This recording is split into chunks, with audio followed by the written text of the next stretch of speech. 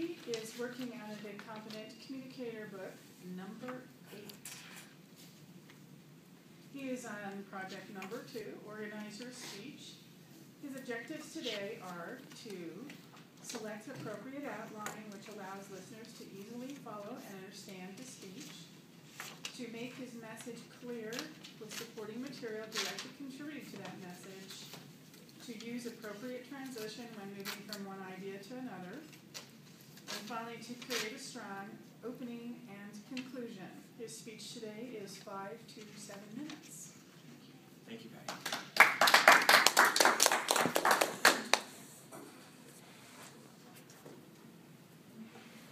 In this age of office work, sensitivity, and Oprah Winfrey, men, haven't you ever wanted to get in touch with your masculine side?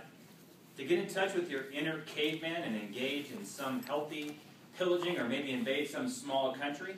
Well, today's speaker has a solution for you. Fortunately, a solution that won't have you landing in some third world jail. Sharing a message today about how you can man up. Please join me in welcoming Jeffrey Purtee.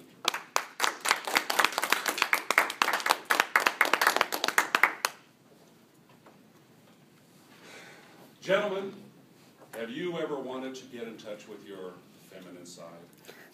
Is your idea of an ideal evening curling up on the sofa and spending two hours watching Bette Midler and Barbara Hershey share their feelings in the movie Beaches? Do you know the difference between the colors fuchsia, mauve, or heaven forbid, periwinkle? If you answered yes to any of these questions, this speech is for you because it is time for you to man up. Yes, our theme today is great accomplishments in our lives. And sadly, I have never had the opportunity to invade a small country. I've never had the opportunity, a la Bruce Lee, to fight off a horde of whirling dervishes with my incredible self-defense skills. No, I have never done any of this. But I have experienced all of these and much more through a genre of fiction I call man fiction. You can think of man fiction as something of, oh, the opposite of the Oprah Winfrey Book Club. These are books where almost nobody discusses their feelings. These are books that provide you with virtually no life lessons.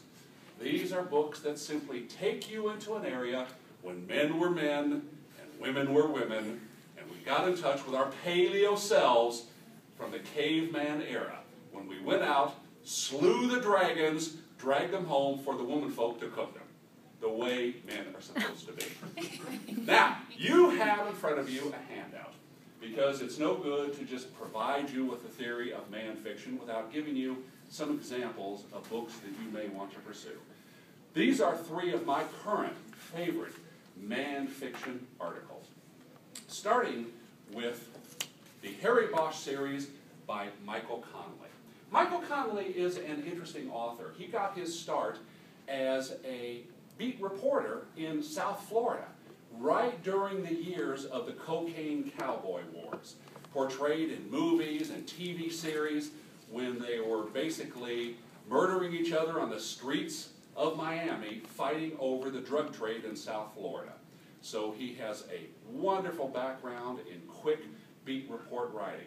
His background is very similar to what I call the fathers of man fiction, the Dashiell Hammett, uh, who did it, Raymond Chandler. His dialogue is short and snappy. His, here, his hero is a Los Angeles detective named Harry Bosch. Harry Bosch is a fascinating character because even though he's a Los Angeles police detective, his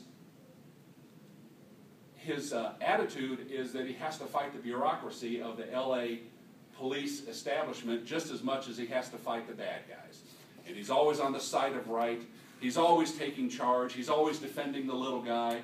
He's always helping the lady out of her troubles. That is a wonderful series. By the way, interesting note, a lot of these I have actually read in audiobook format. The great thing about man fiction is they're snappy, fast-paced novels they're perfect for listening to audiobooks because you hardly need to remember where you were last time because the plots are so similar all the time. The good guy is going to beat the bad guy and save the lady. So it really doesn't matter where you left off. You can always pick it up. The second in the genre of man fiction I wish to call to your attention is Robert Crais. Robert Crais writes a great series of books featuring private detective Elvis Cole and his partner, Joan, uh, Joe Pike. Elvis Cole is a former Ranger, Joe Pike is a former Marine. These two gentlemen practically define the term taciturn.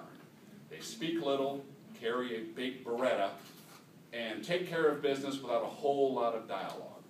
If Joe Pike, excuse me, if, um, if uh, Elvis Cole is quiet, Joe Pike can practically make it through an entire novel and not say seven words of dialogue. It's pretty interesting. He mostly just grunts as an ex-Marine, and he is the enforcer of the, of the two. What's interesting about this is you may think that man fiction, man fiction is just a genre where uh, the men have an excess of testosterone, kind of like Rambo, looking for some small country to invade, festooned with hand grenades, carrying a Beretta on one hand, an AK-47 in another. But it's not really like that because they are almost always in defense of people who cannot defend themselves. They are not Uh, violent types by nature, but they always engage in violence when it's needed, something that I have never done in my entire life. One of the reasons I'm an accountant. You know, I don't like violence, I don't like conflict, but I do like to read about it. Finally, I want to share with you my current favorite author of man fiction, Lee Child. And he has one series about Jack Reacher. Jack Reacher is an ex-military policeman. He wanders from town to town in search of an opportunity to do good for the people of that town. Now you're probably thinking that seems kind of odd. Well, yes, it is kind of odd, but it works in this series. What's especially interesting about this, now you got to kind of go with the flow here. You and I wander into a strange town and we sit down in a cafe and have breakfast. What's likely to happen? Well, we have breakfast, we pay our bill, and we leave. That pretty much it? Not in this series of novels. Jack Reacher wanders into a small town, sits down in the cafeteria and has breakfast, and he's immediately arrested. And by being arrested, he ends up in jail. Whereupon he learns of some dastardly deeds that are happening in that town, exactly right for a man like Jack Reacher to save the day. It's great stuff.